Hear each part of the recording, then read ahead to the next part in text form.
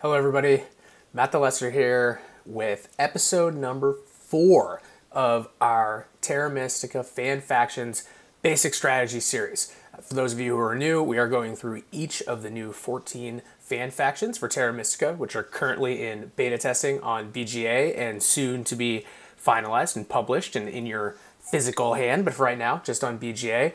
Um, but they've been out for enough that uh, it's time to start talking about how do we play these factions. So these videos are intended at folks who are familiar with the game of Terra Mystica, have played with the base factions, know all of the rules, the basic game mechanics, some of the uh, general strategies, but have not played the fan factions and are looking to do so for the first time. In the first three episodes, we already have talked about the conspirators, the architects, and the prospectors, uh, progressively getting slightly more complicated as we've gone along. And today we are delving into probably the most complicated one that we've covered yet the Children of the Wyrm. Love this name, love this artwork, love the theme, love everything about it. And these guys are the Leech Masters themselves. And so today we're going to try to demystify them a little bit. They're actually not as complicated as one might think on their first faction, but there are a ton of nuances. And so we're going to try to talk about all of those. Um, if you're not familiar, I don't do video editing. So this is the no frills, one take, basic strategy overview Children of the Wyrm. All right, let's go. So let's start, as we always do, with the board. So the Children of the Wyrm have what's mostly a pretty normal looking board, but there's a lot of small tweaks that you gotta really make sure you spot. So normal looking dwelling production, normal looking trading post and temple, sanctuary stronghold production. It's a four power stronghold, but nothing crazy out of the ordinary there. But first nuance to see with the Children of the Wyrm is that they have variable coin costs, not just on their trading posts like every faction does, but on all of their structures. So their dwellings cost one coin if you're building next to somebody, and the normal two coins if you're not. Trading posts are normal, three, six.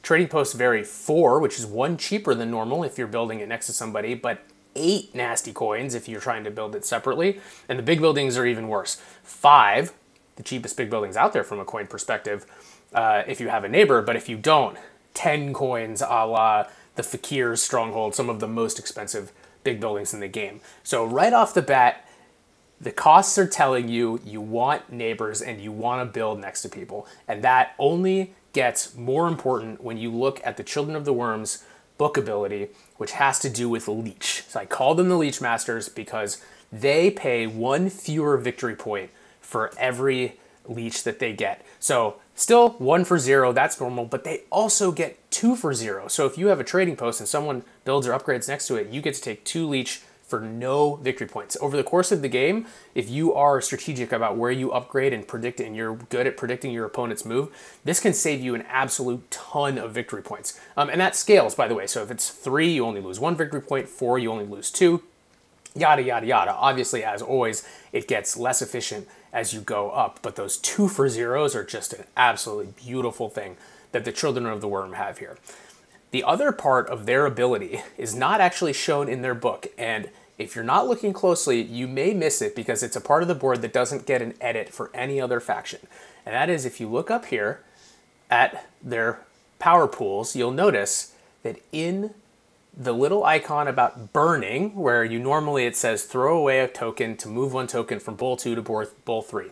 Every faction can do this. You probably don't even look or think about it, but you see that the Children of the Wyrm have a little two there.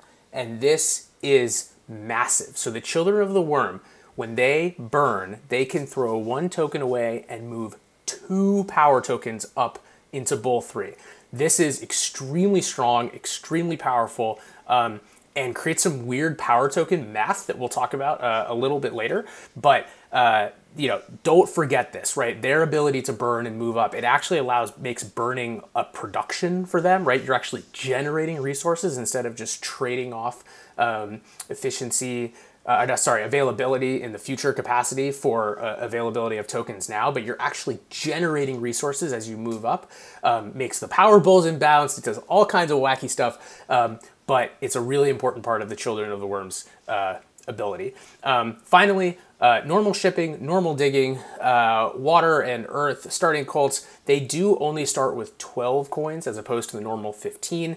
That is to slightly offset the fact that on net, these split coin costs reduce the number of coins that they end up spending on buildings over the course of the game. So you got to offset that a little bit by giving them a few fewer to start. Um, and then finally, let's talk about this wonky looking stronghold. You're probably looking at this and be like, what the hell does this mean?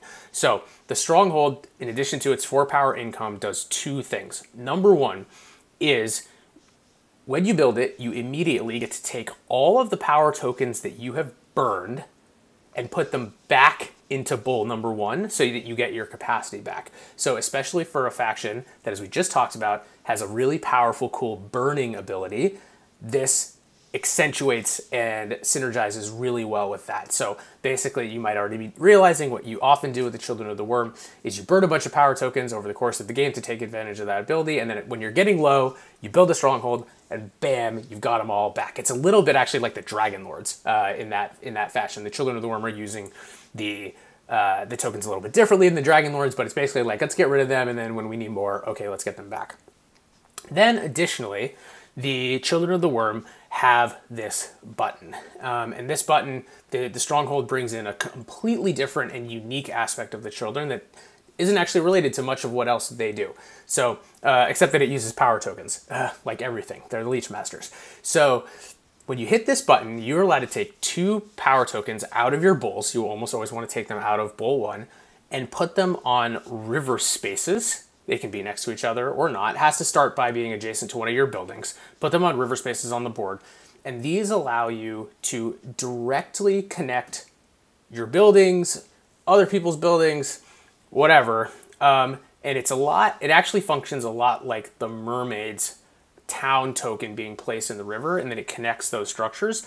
But the difference is the mermaids can only do it when they're founding a town, and they only do it with just the town token. The children of the wyrm can do it before they found the town or to found a town, and they can string them along um, to create this path that connects all of the structures of their own that are along that path. They also get to leech off the whole path, so everything that's connected to it creates this one big leech party, which in my experience actually doesn't impact the game that much. The much bigger thing is using these uh, tokens to connect and to form towns. So you can create these really kind of weird, uh, wonky looking towns, and we'll we'll talk about a little bit more how you do that. But you do lose a little bit of capacity, so some tokens you might not be able to burn in the future. Um, but is another really cool facet of the Children of the Wyrm if you build the stronghold. I would say the Children of the Wyrm are, are a faction with my favorite kind of stronghold, which is the kind that is useful, can totally make your game in some games, and also can be totally done without in other games. I think you, they really have that flexibility. Okay, so there's the overview. Hopefully, I know there's a lot going on, on the board, but hopefully it's not too complicated. Um, so let's start talking about when do we want to play them. And before I even dive into the specifics, the first thing I'll say about the children is that they're a pretty flexible faction. I think that there's not a ton of things that they really need or really don't need. Um, they can work in a lot of different setups. So, you know, if they're in an auction, don't be afraid to bid on them because of the setup. I would say think much more about what do we always say? The color wheel. Um, but maybe even more important than the color wheel in this particular instance with the children is the, the children want neighbors. And it's really important that you have them early. You want people that you can build next to, that you can upgrade next to, and are going to build and upgrade next to you to give you that leech back. You benefit more than them because of your free leeches and your lower building costs. So you really want neighbors. So look at the the set of four factions that are in the game.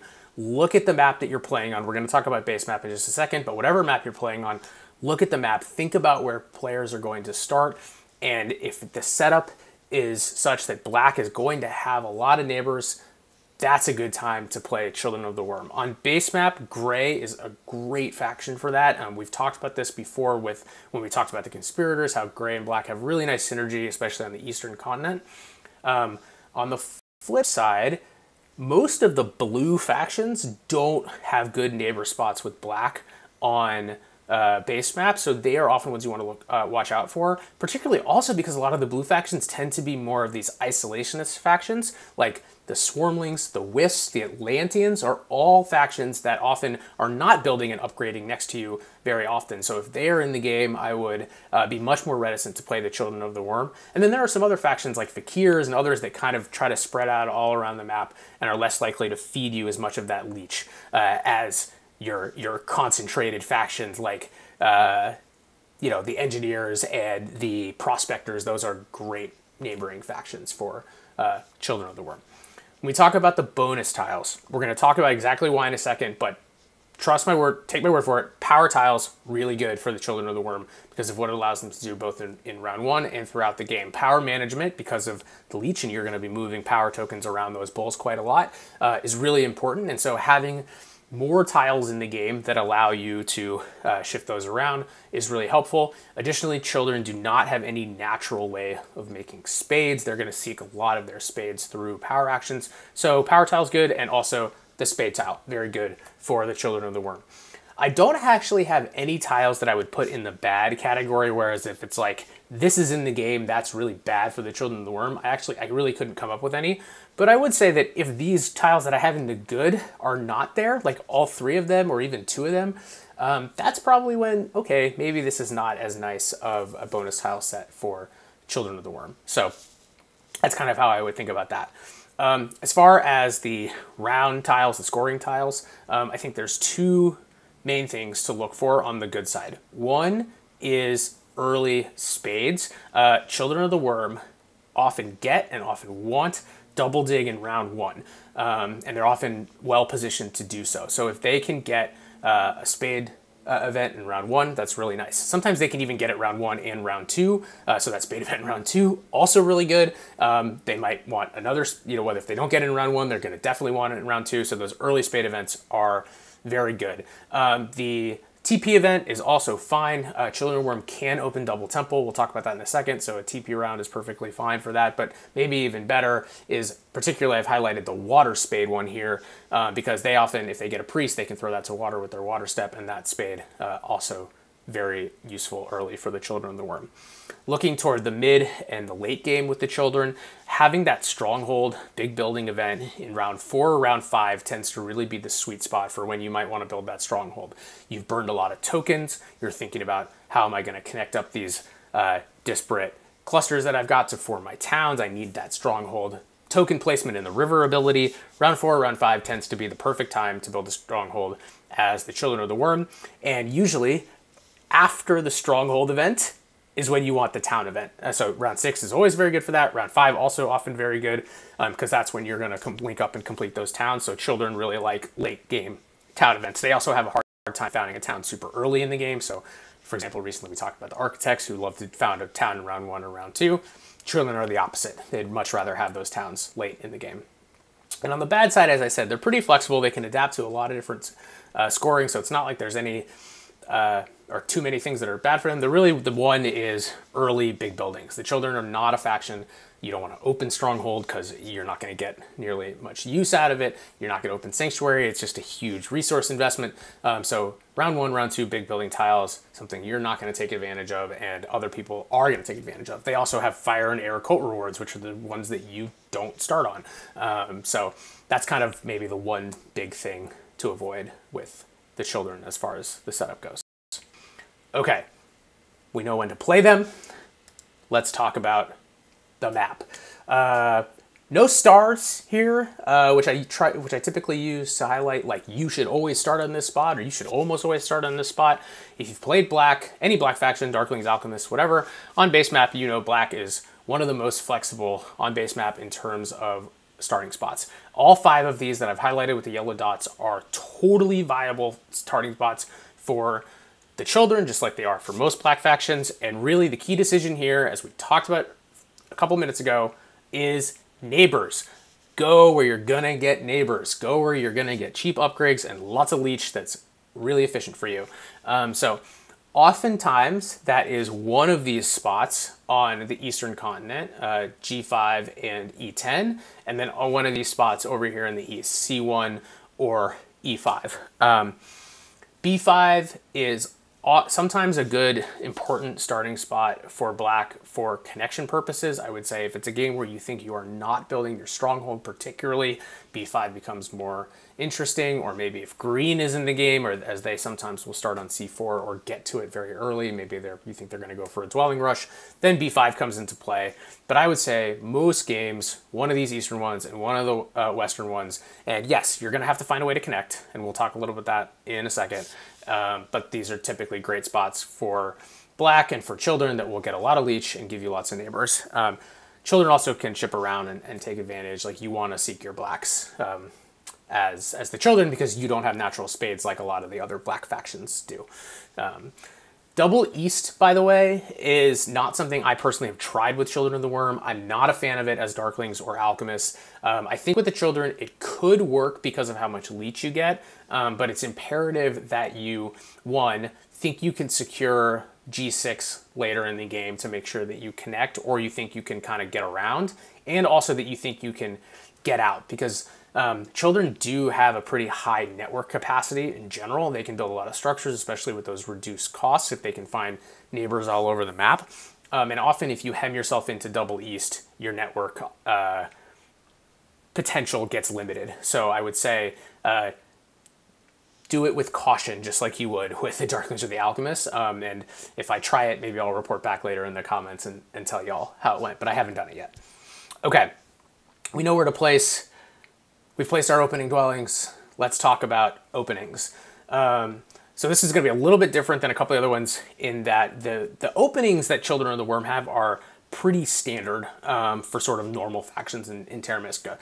Most of the time, you're either going to most time you're going to open with a temple and some dwellings, however many you can get out.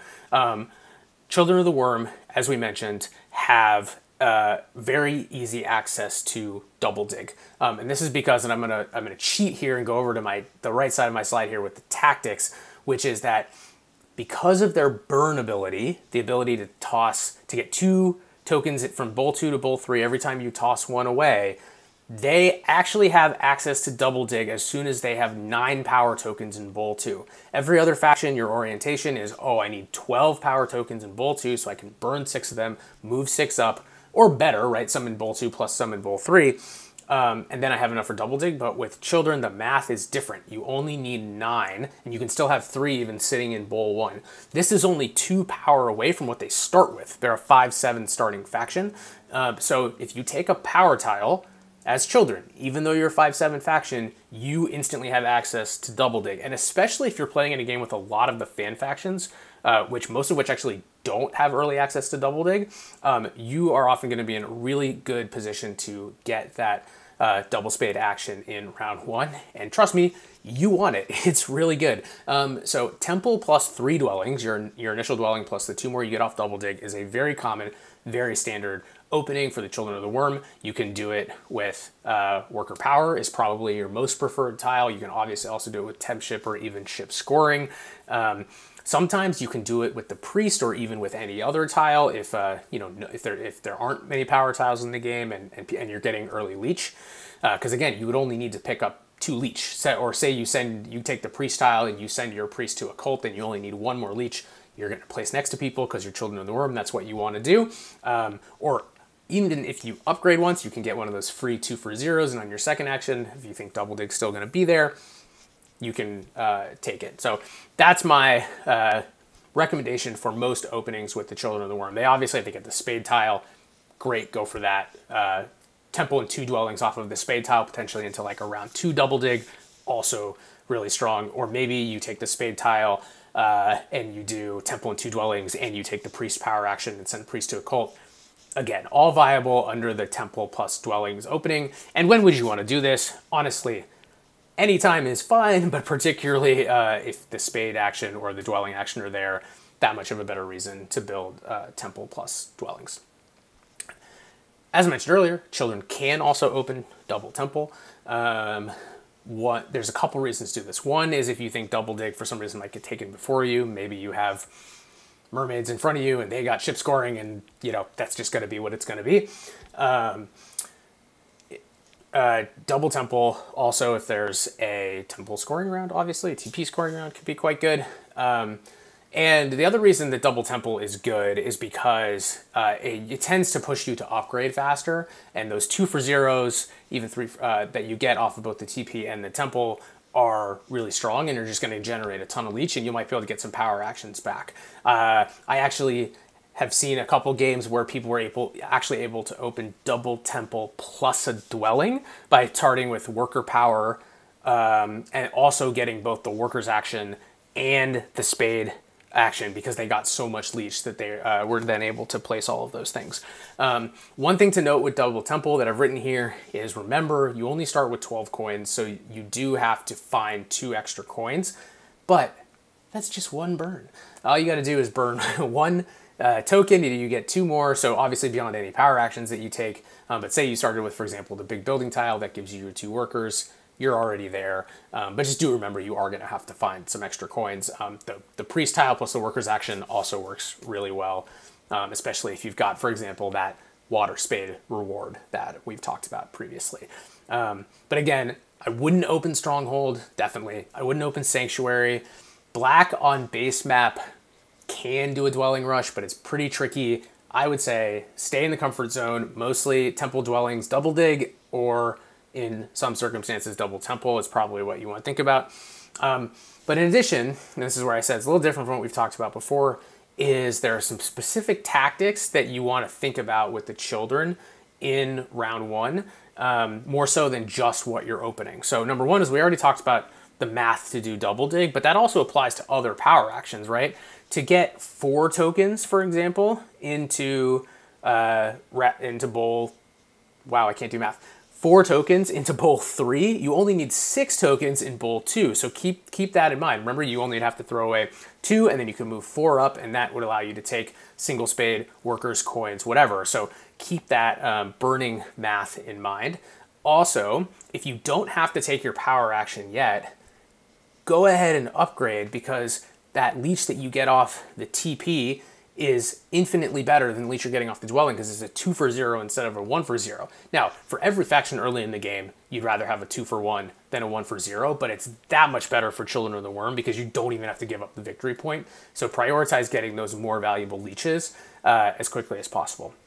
Another slightly trickier one is if you want to build a dwelling, say one off of one of your spades from Double Dig, for example, um, if you think you're to get a neighbor next to that spot, but they're not there yet, you might think about waiting until they build that dwelling because remember, your dwelling costs one coin less if you build it next to somebody else versus if you build it on its own, it's the normal two coin costs. Um, so just think about that um, when you're thinking about the ordering of which you might build your dwellings versus upgrading, uh, et cetera, et cetera.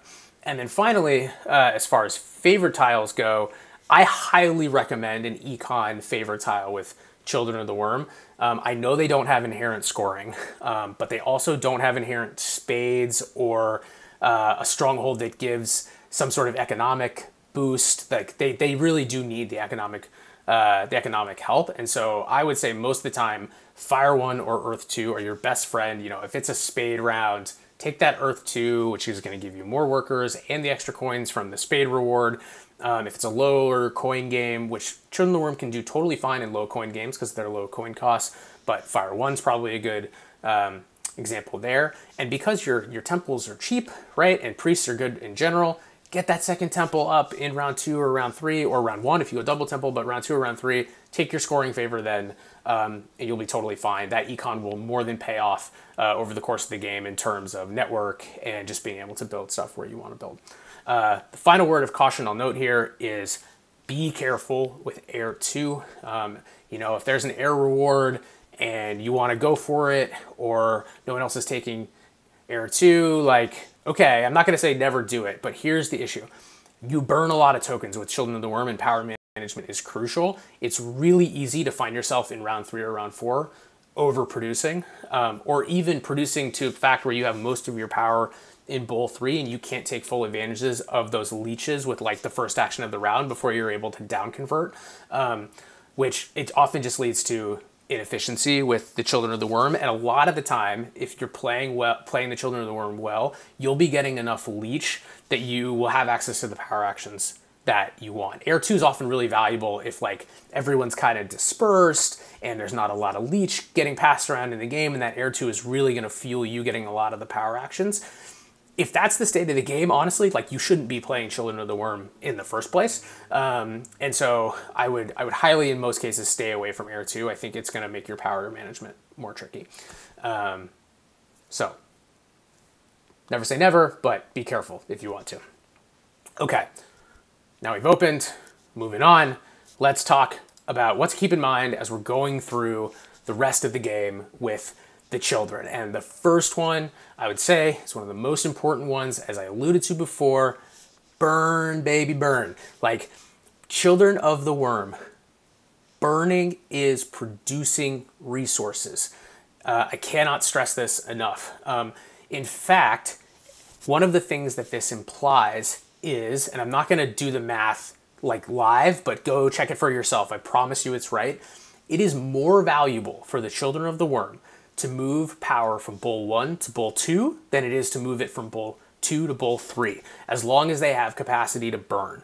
Um, and this is because basically of that ability that you're moving 2 up for every 1 that you throw out, whereas normally it's an equal spread. So one thing to think about is if you think you're going to be getting enough leech basically in between one turn and the next turn or in between the round and the next round, such that um, you're going to have to start taking leeches that are moving power from bowl two to bowl three, it might actually behoove you to move power from bowl three to bowl one just in straight like coin conversions, for example, even if you still have capacity.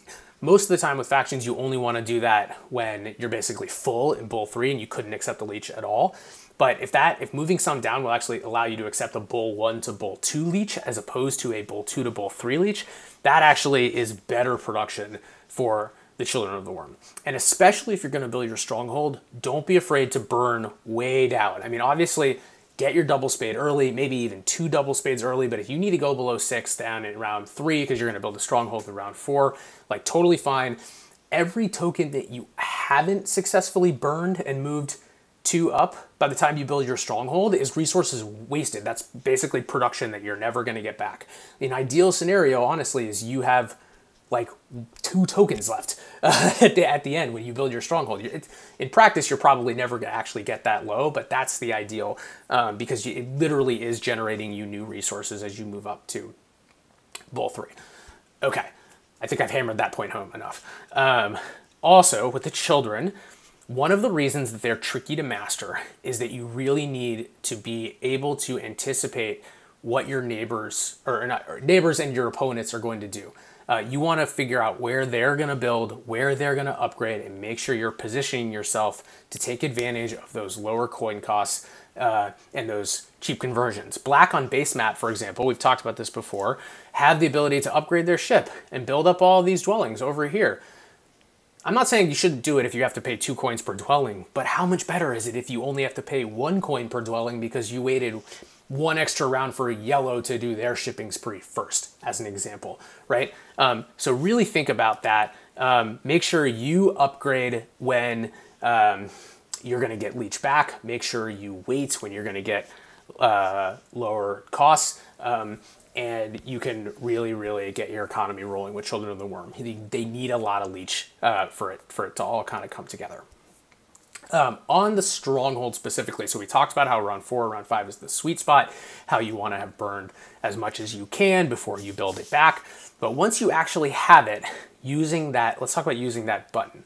Um, this stronghold is actually really, really helpful at creating creative towns uh, in spots that normally you couldn't do. You have to think like the mermaids, as I said, but like even bigger, um, and sometimes can even allow you to solve connection. So, like as an example, one of my favorite towns with the Children of the Wyrm are these four hexes: E5, E4, H5, and H4, connected by four power tokens on these four river hexes down here. Why is this amazing? Well, number one is it's four hexes for only two spades, H4 and E4, which is awesome. Um, number two is it connects you. Um, you don't have to worry about black often has this thing where they need to fight to either try to steal d5 or beat red or yellow to b4, um, or if they're connecting through the south, they either have to get like h3 or i4 to enable this three ship connection.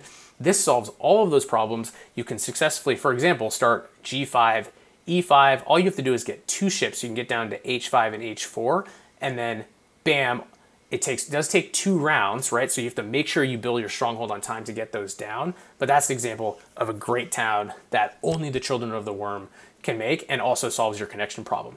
The Children of the Wyrm stronghold can also be really useful in connecting e5, which also often gets isolated here. Um, it's, sometimes it's very hard as black to build a town off of e5.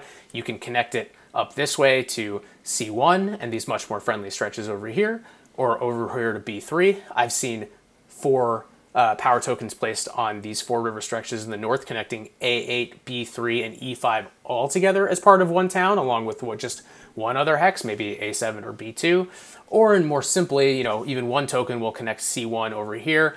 Um, you know, at its very simplest, it can avoid you having to build a bridge, but at its best, uh, this ability can really do a lot more. Um, so see where you're building. Go find the places with neighbors to build and upgrade and get all of that leech. And then when you get to round four, round five, think, how do I connect these up in the way that's going to be efficient and allow me to form the most towns? Children of the Wyrm can form three towns in many, many games because of their uh, ability to connect up these structures. The one thing you do have to think about, I mentioned it briefly, is make sure you build it on time. You only get to place two per round. So if you look and you say, hey, I'm going to need six tokens to make these towns that I want to make, make sure you build your stronghold by round four, or you're not going to be able to get the chance to place um, six tokens. Uh, and finally, with that ability, um, it makes getting your blacks that much more important because you can connect them up and you don't need to dig as much. So like, don't triple dig stuff as Children of the Wyrm. There's really no reason to because you can often just sort of circle around it. Um,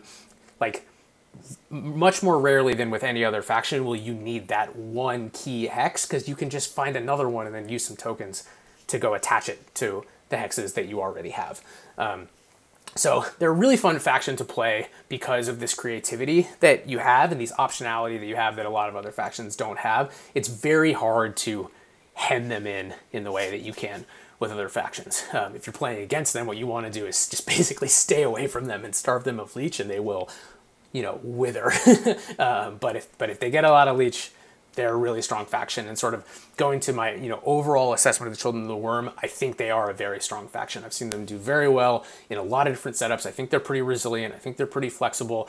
I do think they are a faction that accentuates stronger players. Um, so uh, the first couple games you play with them, uh, especially if you're newer to the game of Terra Mystica in general, you might find it a little bit tricky. You might find some of this burn math a little complicated, especially in a live game. It's sometimes easy to miss things that are available to you, but keep playing them. You'll get better. Um, and they're a really fun, fun faction. Um, oh, and I didn't mention that, yeah, high network faction, they can often get a lot of dwellings out, especially if they have neighbors. One worker and a coin for a dwelling is just amazing.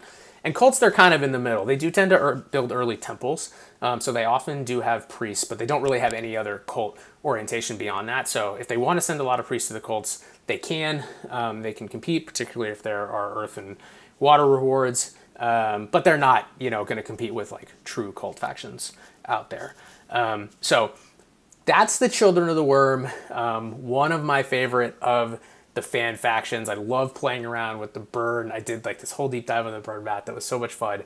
Um, but anyways, let me know how your games with them go in the comments. Come find me on BGA. Um, and we will see you back next time for another episode when I get around to it. Um, until then, see you later.